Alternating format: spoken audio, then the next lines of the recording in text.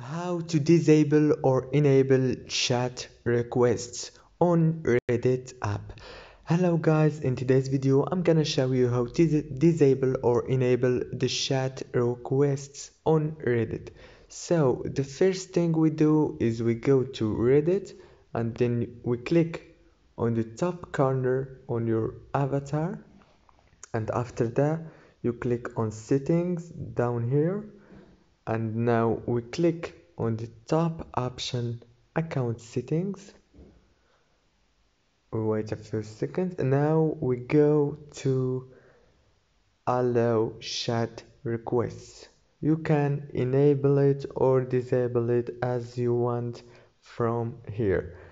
And that's it for today's video guys. Don't forget to like and subscribe for more videos. Thank you so much